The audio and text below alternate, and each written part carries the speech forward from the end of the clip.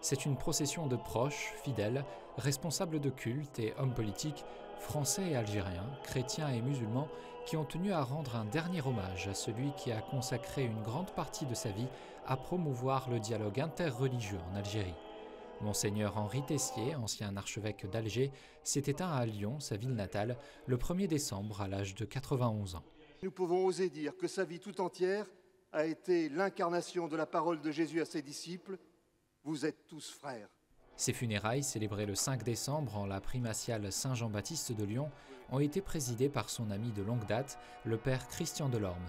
Pour lui, Monseigneur Tessier a su créer à travers les décennies un lien affectif et spirituel très fort avec le peuple algérien.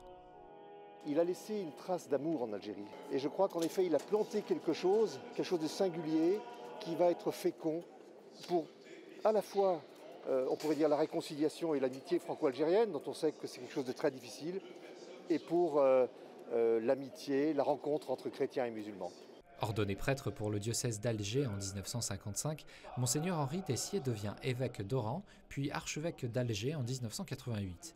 Amoureux de l'Algérie, dont il acquiert la nationalité en 1966, Monseigneur Henri Tessier a toujours eu à cœur de promouvoir, aux côtés de son prédécesseur, le cardinal Léon-Étienne Duval, le dialogue entre chrétiens et musulmans en Algérie.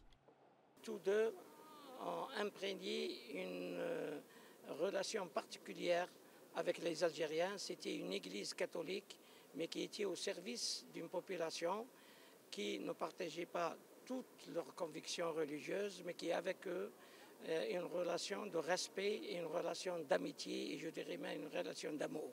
Profondément meurtri par l'assassinat des 19 martyrs d'Algérie entre 1994 et 1996, dont il était proche, Monseigneur Tessier a milité pendant plus de 10 ans pour leur béatification.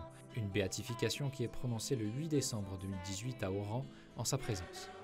Une belle figure avec un grand cœur très sensible. Lors de la béatification, lorsque nous sommes donc retournés là-bas, je le vois auprès des tombes d'Henri Vergès et de nos sœurs. Il était tellement ému qu'il ne pouvait plus parler. Nous avons cru qu'il allait tomber. Chaque fois que l'un d'entre eux était assassiné, il était crucifié et il aurait voulu être à leur place pour, épargner leur vie. Hein. Et il a gardé jusqu'au bout cette souffrance. Euh, donc il a été le, père de tous ces hommes, de toutes ces femmes. Euh, le journal La Croix, au, moment de la béatification des 19 bienheureux, euh, avait publié un titre, le 20e bienheureux, en, faisant son portrait. Et je crois que c'était parfaitement juste. Pendant la décennie noire, une guerre entre le gouvernement et des groupes islamistes faisant des dizaines de milliers de morts, Monseigneur Tessier n'a jamais voulu quitter le pays, soucieux de ne pas abandonner ses fidèles et préserver l'Église catholique d'Algérie.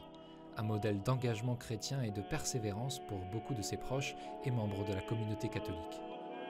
Un homme de paix, un homme de prière et toujours... Euh, toujours très présent, s'intéressant toujours euh, aux uns et aux autres, demandant des nouvelles de toute la famille. Je retiens un, homme euh, d'une grande culture et très humain, un homme de foi. Je viens de Dijon, voilà, il fallait que je sois ici pour euh, l'accompagner. Conformément à la tradition, son corps reposera dans la cathédrale qu'il a connue archevêque pendant 20 ans, la basilique Notre-Dame d'Afrique à Alger.